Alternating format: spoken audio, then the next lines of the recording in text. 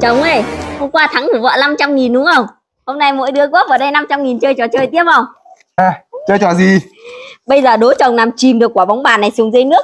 Nếu mà chồng làm được, vợ mất chồng 500 nghìn này nữa. Ok.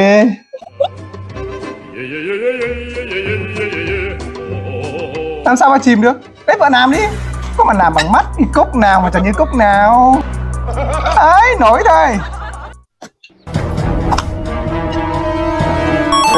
Chồng nhìn thấy chưa?